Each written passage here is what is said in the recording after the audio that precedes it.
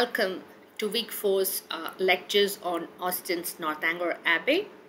In today's session, I'm going to talk about Gothic parody, the plot that Henry Tilney uh, comes up with for the benefit of Catherine Morland, and I'm going to conclude by talking uh, a little bit about female Gothic and uh, the despotism of General Tilney.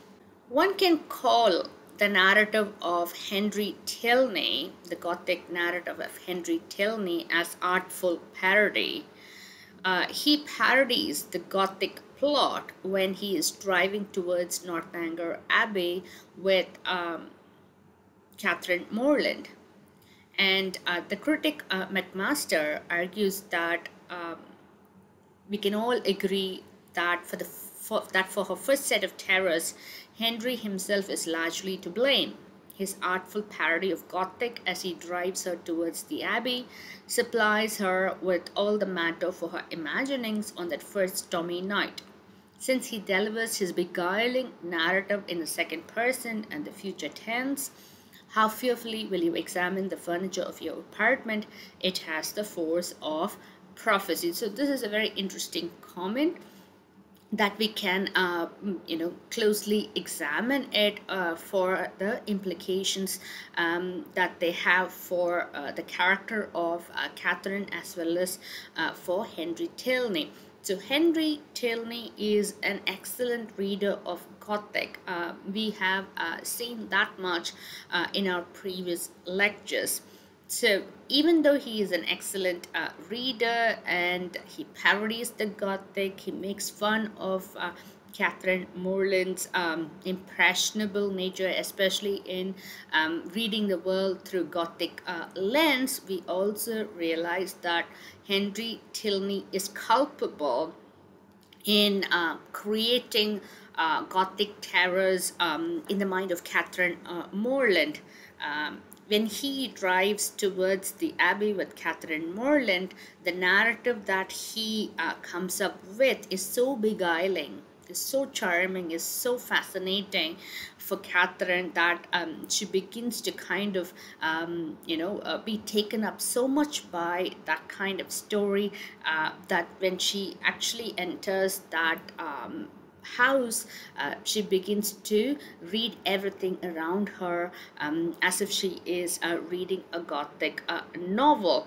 So, the, there are two very uh, important aspects to this uh, bit of criticism by McMaster, which is firstly, she points out um, that um, that Henry Tilney is addressing um, Catherine Morland directly. You can see the use of the second person. How fearfully will you examine? So he is um, imaginatively placing Catherine Morland in that uh, uh, house, in that abbey, and he is somehow, uh, mm, in a weird way, um, capturing the future in the present uh, so that uh, Catherine Morland becomes a Gothic heroine of sorts. Um, secondly, she says that this kind of um, foreseeing um, of the of the future is, is prophetic because Catherine uh, Morland puts it into practice when she uh, stays in Northanger Abbey. So you can see how um, implicated Henry Tilney is in the way Catherine Morland behaves in uh, Northanger Abbey. And we also remember that uh, Henry Tilney is an avid reader of the Gothic too.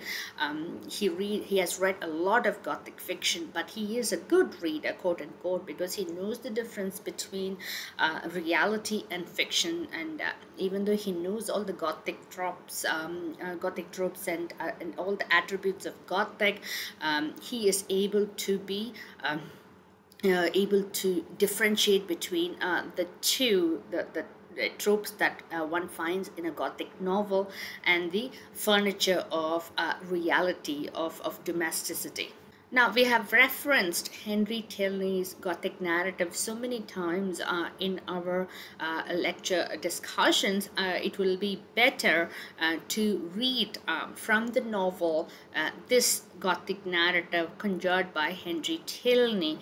Um, so, I'm reading from the novel. So, this is a quotation from the novel and this is what he tells Catherine Morland um, that might happen to her. No, certainly we shall not have to explore our way into a hall dimly lighted by the expiring embers of a wood fire, nor be obliged to spread our beds on the floor of a room without windows, doors, or furniture. But you must be aware that when a young lady is, by whatever means, introduced into a dwelling of this kind, she is always lodged apart from the rest of the family. Look at the way he concludes here in this uh, extract on the slide that um, perhaps Catherine Morland is going to be put in a, a part of the house which is um, you know, isolated from the rest of the family and, and this kind of comment uh, makes Catherine wonder as to the reasons um, as to why this particular guest is uh, is lodged in a different part of the uh, household um, and, and away from the rest of the uh, family.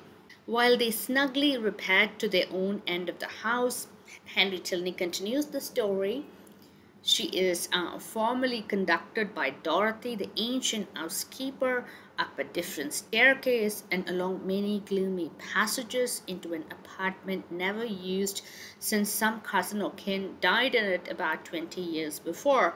Can you stand such a ceremony as this? asks Henry Tilney to Catherine Morland so uh, you can see how he's gently poking fun at the kind of events um, that Catherine Morland perhaps anticipates uh, when she is going to uh, stay at Northanger Abbey. So he says that, you know, while the rest of the family are going to go to their um, snafe, uh, snug, comfortable, um, you know, uh, spaces, living spaces, uh, she will be, Catherine Morland will be formally taken away by that ancient uh, housekeeper um, and she will uh, be taken up a different staircase uh, past many gloomy dark passages into an apartment that had never been used since somebody died in it um, a couple of years ago ages ago. So you can um, immediately see all the cues and paraphernalia of uh, the gothic uh, narrative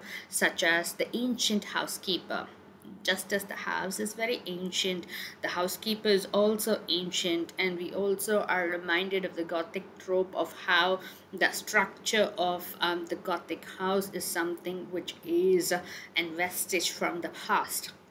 So just as the gothic castle the northanger abbey um, and other uh, you know uh, key uh, domestic setups, um, you know, domestic structures of Gothic novels are, um, you know, uh, elements from the past. So is this present one to which a Catherine Morland is going to be a guest.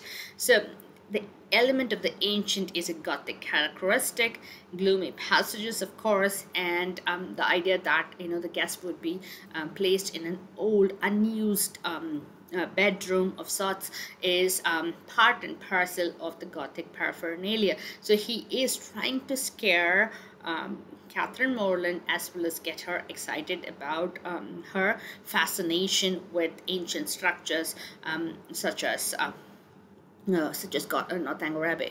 He continues the Gothic narrative Will you not mind misgive you when you find yourself in this gloomy chamber too lofty and extensive for you, with only the feeble rays of a single lamp to take in its size, its walls hung with tapestry exhibiting figures as large as life, and the bed of dark green stuff or purple velvet presenting even a funereal appearance. Will you not, uh, will your heart not sink within you? So he continues with the Gothic uh, description of the interiors of her chamber, of her bedroom in that um, abbey. And he says that it's going to be very gloomy. It's large as well. It's lofty. Um, it's it's vast. Uh, it, it's too vast perhaps for Catherine, for this young small uh, female. And there will only be a single uh, source of light which is this lamp and and that lamp is of course not sufficient to lighten up the entire chamber. And he further goes on to say that there will be uh, you know tapestry hangings uh, cloth hangings and uh, on those uh, uh, material there will be uh, figures um, you know figures depicted on it which which are larger which are as large as life. And um, the bed is dark in color dark green or purple. And all these color have a symbolic association with the funeral with death. And so uh, this kind of ambience will uh, Henry Tilney suggests that might make Catherine Morland's heart sink within her. So you can see how very full on um, his Gothic description uh, of Northanger Abbey is for the benefit of Catherine Morland. He is playing with her, he's toying with her, he's being sarcastic, he's being playful, and yet. Um, there is a, a, subtle element of threat um, that uh, is coded in Northanger Abbey. It's a symbolic threat, but the threat is there. How fearfully will you examine the furniture of your apartment and what will you discern? Not tables, toilets, wardrobes, or drawers, but on one side perhaps the remains of a broken lute, on the other a ponderous chest which no efforts can open, and over the fireplace the portrait of some handsome warrior whose features will so incomprehensibly strike you that you will not be able to withdraw your eyes from it. So he continues, Henry Tilney continues with the Gothic description of that apartment and he says that nothing will be of the usual or the routine or the everyday but um, there will be uh, broken objects um, objects which are inaccessible to her. In terms of a broken object there is a broken lute symbolizing some kind of broken uh, romantic uh, narrative and uh, there's a chest suggesting mystery.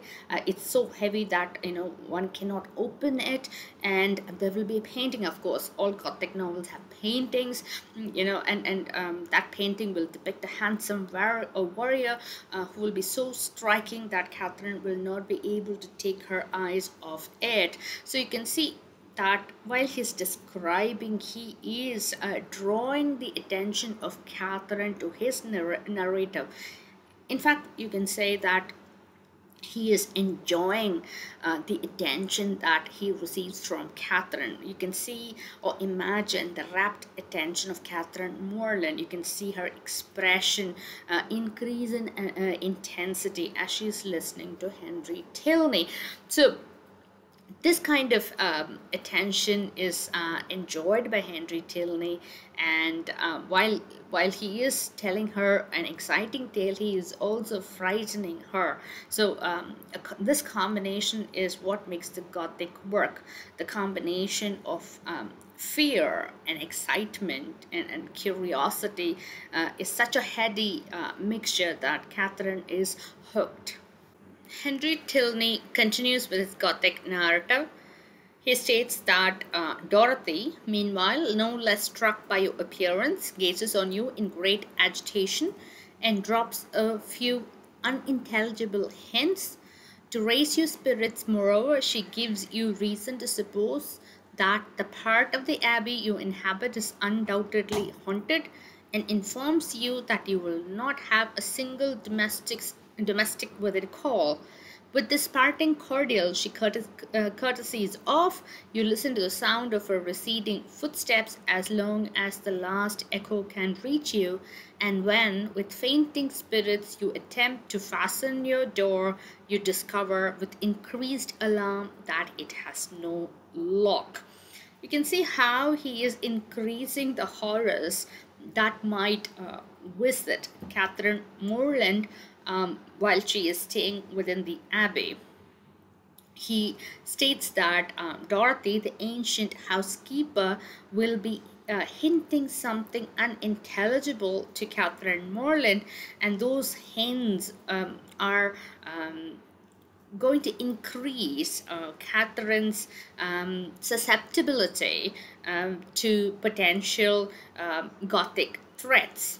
In this passage, you can see how uh, Henry Tilney uh, touches on both the suggestive aspects of the Gothic um, and um, you know the the kind of um, real terrors as well. The suggestive uh, relates to comments about unintelligible, um, you know, ideas uh, regarding um, threats that could um, affect Catherine, and the reference to hauntings, the mm, you know the potential for spirits um, to uh, visit that part of the household, and the real terrors um, involve the uh, uh, the point there uh, that is uh, mentioned by Tilney that uh, when um, Catherine tries to lock the door, this imaginary Catherine uh, in the future, when she tries to lock the door, she will discover that it has no lock. So this is a very interesting um, passage in that uh, regard. You can see how he also uses the character of Dorothy to uh, scare Catherine. This Catherine uh, who would foresee or who would um, enjoy all these um, uh, happenings um, to her when she is uh, staying in uh, Northanger Abbey. So this um, housekeeper um, is the one who also apparently mentioned would mention to Catherine that you know um, there will be no domestic uh, within call in case uh, she needs any help in the middle of the night. So all these uh, gothic tropes you know the the trope of uh, spirits the trope of the scary housekeeper who's um very old um the idea that you know there's no lock to her door which might protect her. A locked door always protects the um, you know um, the resident uh, in that bedroom but uh, you can also see that that is not going to be available to uh, Catherine uh, Morland. So this narrative that I have uh, read uh, across uh, these slides tells you the powerful nature of Henry Tilney's tale. Uh, he is not just a storyteller; he is kind of kind of a prophet, um, an oracle, one who foresees uh, things that might happen to Catherine um, in Northanger Abbey. So the Catherine, who was traveling with Henry Tilney, uh, uh, is, is kind of um, foreseeing um, the Catherine who is going to enjoy, suffer through all these Gothic terrors, um, and, and that kind of um, foresight is given to her now by uh, her companion Henry Tilney. So you can see a very kind of postmodern um, uh, framework that is being um, set up in this moment in the novel when the present Catherine um, kind of uh, has a glimpse into the future uh, of her life when she undergoes all these gothic terrors and when, when the you know housekeeper terrifies her when she realizes that there is no and there's no lock to her room. So all these um, are, are uh, incidents uh, which are part of that tale that that um, Henry tells Catherine. So Henry being her oracle, Catherine is almost bound to do as he predicts. So he, since he is a prophet-like figure, um, Catherine has no choice but to kind of enact that prophecy. It's almost like a self-fulfilling prophecy in some respects. Um, so he predicts something and Catherine makes sure that she does something um, more or less similar to what he has um, uh, predicted and he knows fully well how suggestible she is. Henry knows that she is very impressionable, that she is consuming a lot of Gothic fiction, and she has um, a particular idea about uh, Northanger Abbey, which is along the lines of the Gothic.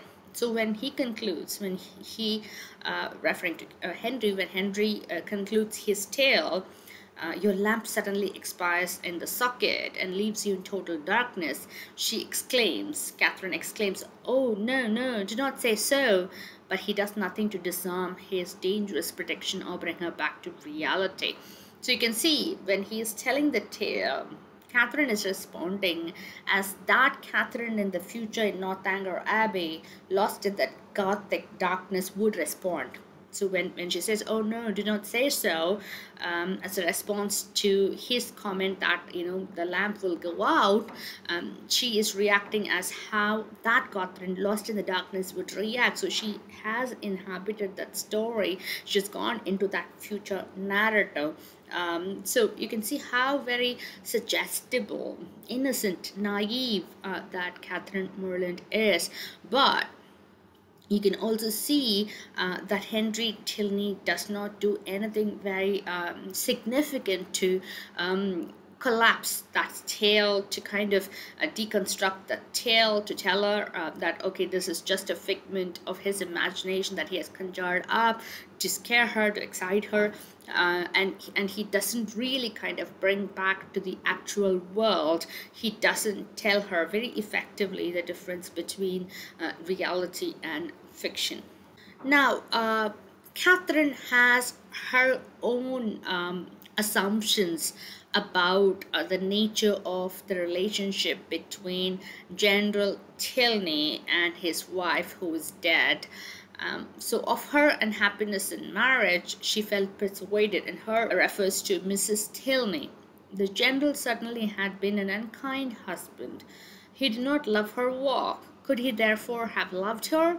And besides, handsome as he was, there was something in the turn of his features which spoke his not having behaved well to her. So you can see the surmises, um, the assumptions um, that uh, Catherine Morland makes about the nature of General Tilney's marriage, um, she quickly uh, comes to certain conclusions. The general did not uh, like the works of his wife, therefore, he uh, did not love her.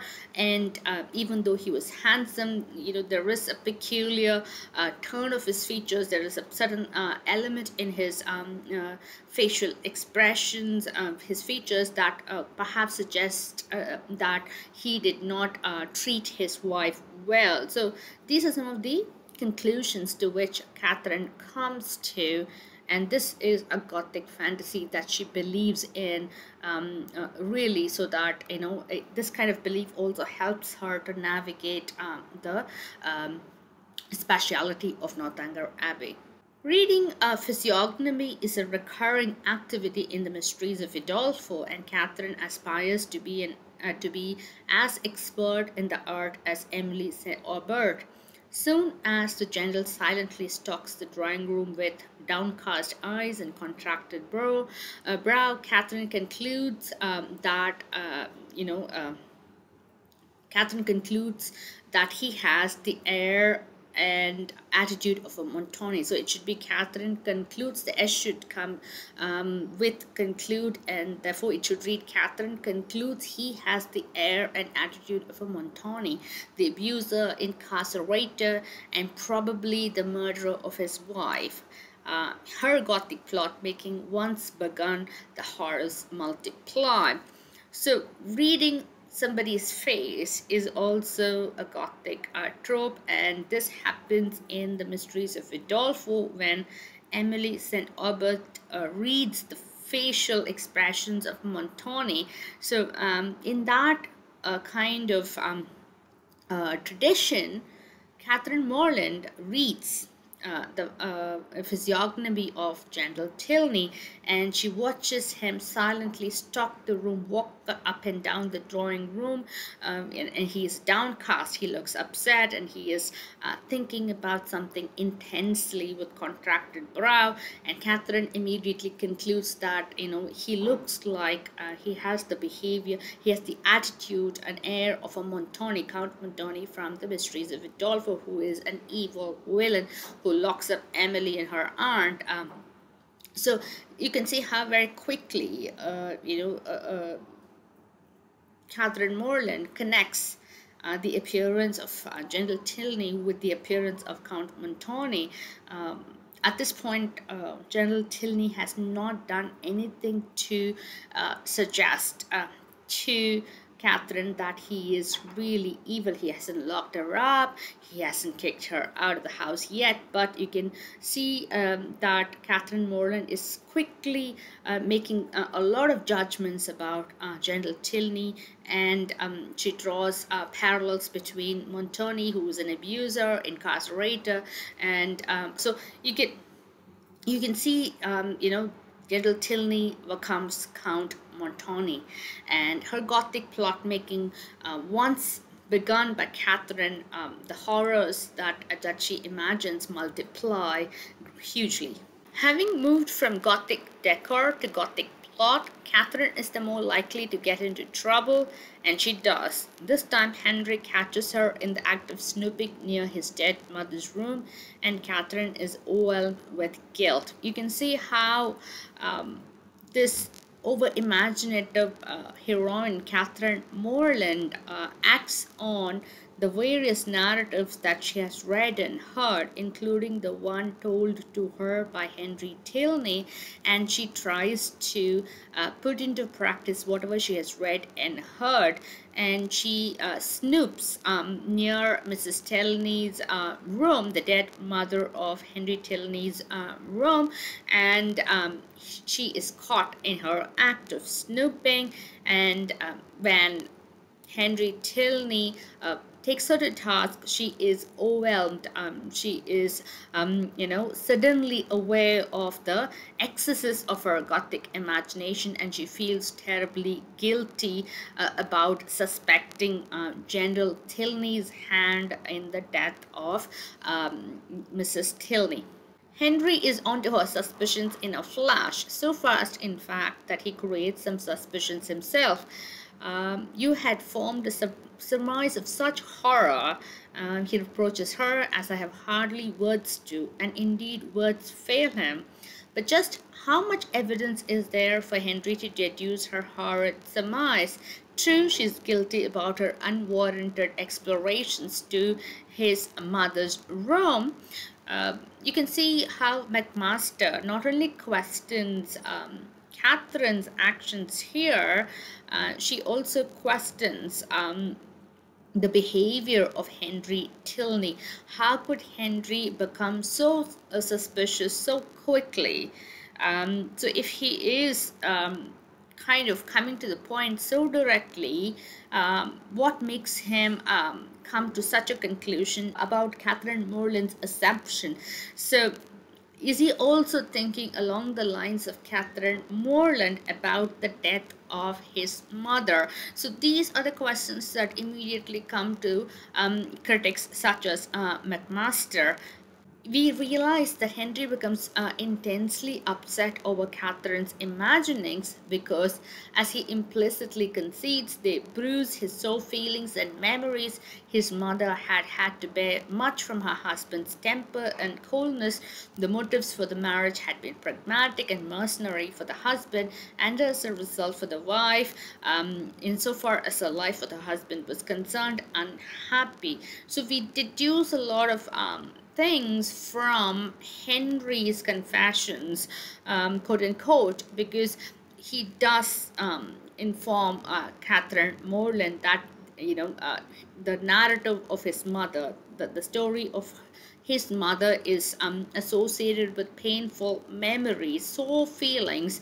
Um, so he also uh, concedes, uh, confesses, accepts that you know the marriage of her fa- of his father and mother were. Uh, were, were made for pragmatic, practical reasons, for uh, mercenary reasons. Um, you know, uh, it was not a romantic marriage, and as a result, uh, the wife was unhappy. Henry's mother was unhappy. So, uh, because of these uh, memories, um, Henry is upset to realize that Catherine Morland is um, kind of further uh, questioning um, the nature of the relationship between um, General Tilney and um, and uh, Mrs. Tilney. So all these associated ideas uh, makes them unhappy that he's not even able to kind of uh, fully, um, you know, uh, put it in uh, words the assumptions of Catherine Morland.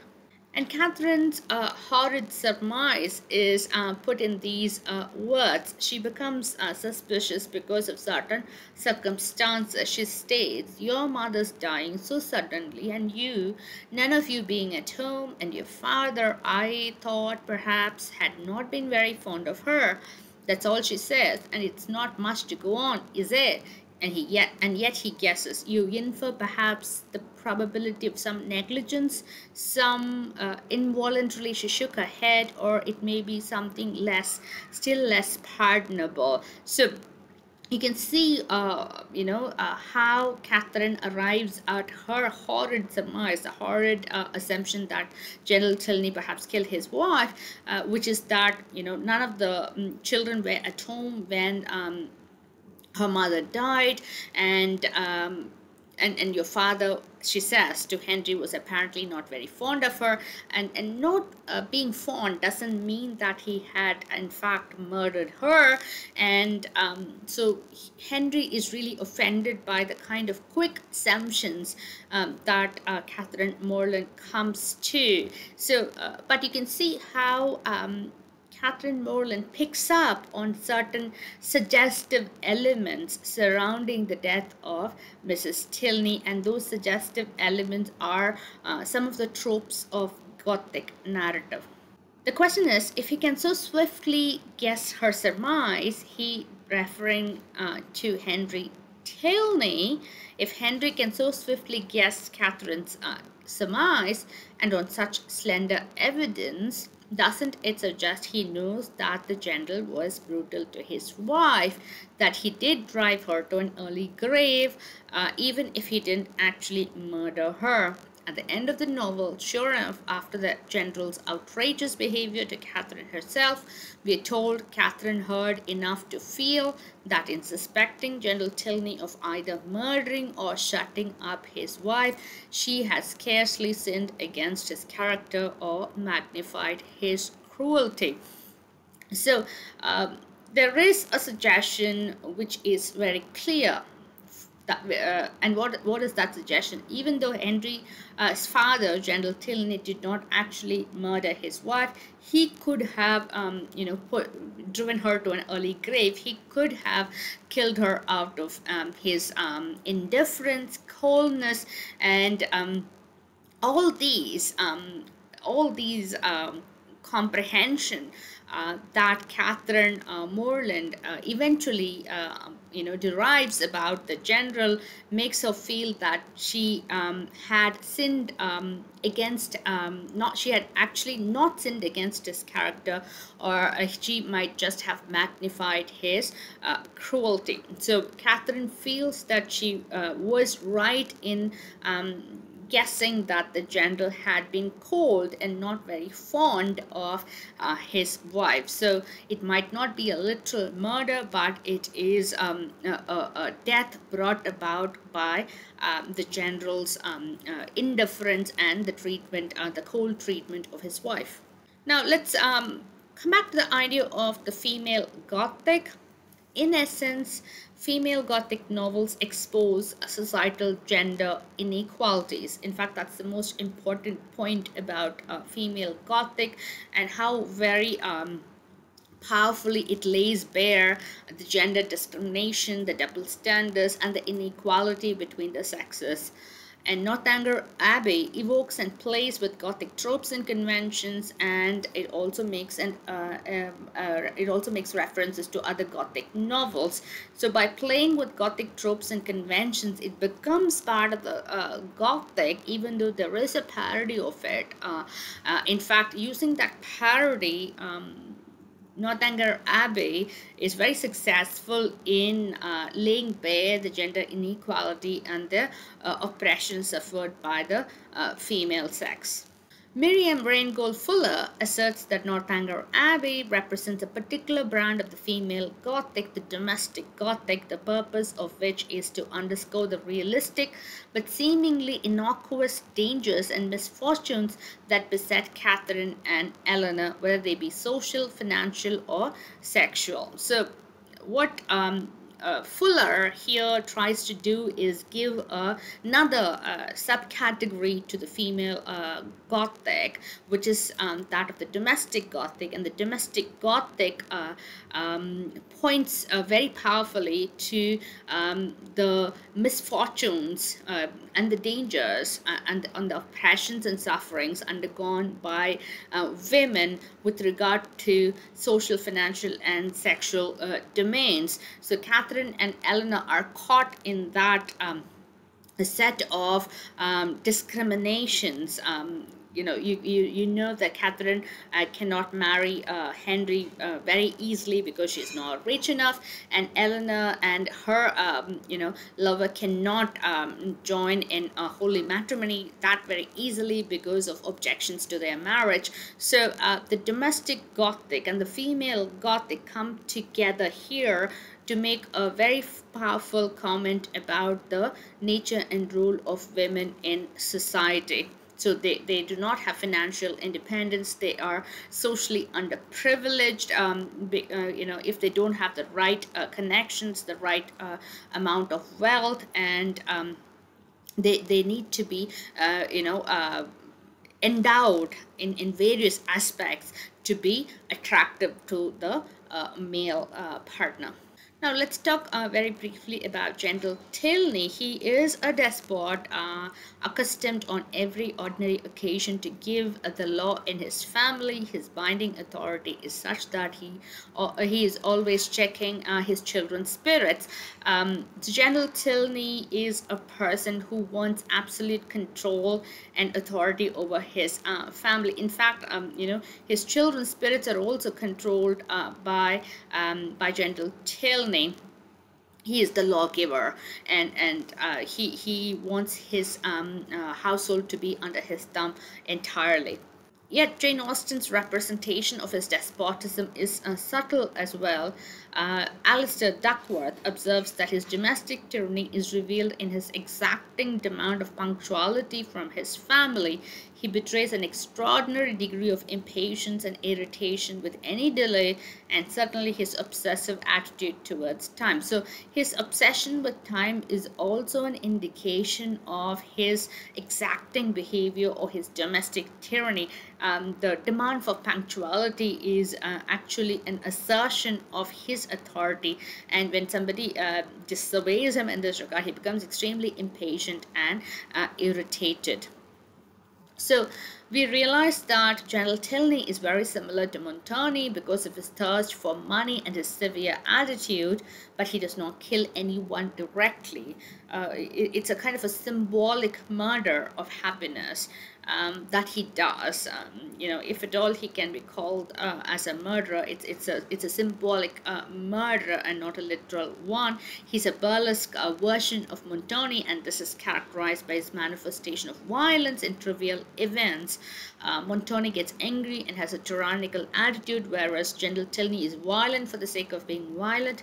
Um, for instance, General Tilney was pacing the drawing room, his watch in his hand, and having on the very instant of their entering pulled the bell with violence, ordered dinner to be on the table directly. So you can see how very uh, patriarchal um, that General Tilney is, and that kind of power um, on his part, the, the demand for obedience uh, from his uh, inferiors and from his family members uh, reflects on the um, uh, imposing nature, oppressively imposing nature of General Tilney. In other words, he is like a villain who has lost his authority and who feels the need to remind us constantly that he is the master. So those subtexts are also prevalent to the character of General Tilney. He, he thinks uh, and he believes that power is slipping away from his hands and he has to kind of establish that in a very loud uh, manner in a very uh, aggressive and violent manner.